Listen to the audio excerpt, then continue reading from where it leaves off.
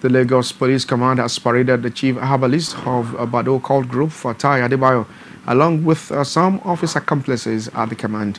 Commissioner of Police Imohimi Edgal states uh, that investigation is currently ongoing in the case of conspiracy, murder, and ritual killings. Stone used by the Badoo group to smashing the skulls of victims were also presented by the police. Our correspondent Ayobami Pashe has a report. The peace of Lagos State was disturbed on the 30th of December 2017 when a gang of three killers murdered Shakiru Yekini and injured the wife and six-month-old child, who are currently under intensive medical care.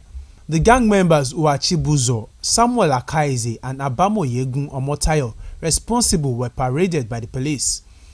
According to information gathered from preliminary investigation, Abamo Yegun usually sprays a substance into the victim's house before the group smashed the skulls of the victims. Having satisfied that the victims are dead, will use a white handkerchief to scrub their blood for ritual purpose.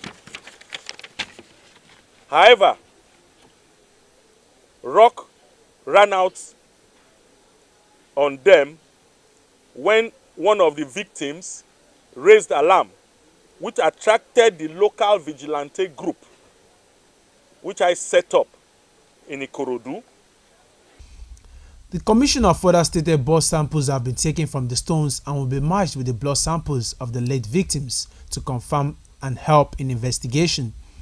All attempt to speak to the three gang members was in vain as the police stated investigation is still ongoing know what we are doing, but that does not mean that the investigation has halted.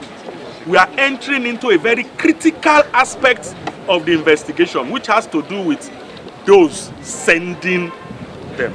So we cannot allow you to begin to to over interrogate them or capture them so you don't jeopardize our investigation. The commissioner further assures Lagosians that the force will not relent till all criminals are brought to book while calling for the support of the public. Ayobami Pashe, Core TV News, Lagos.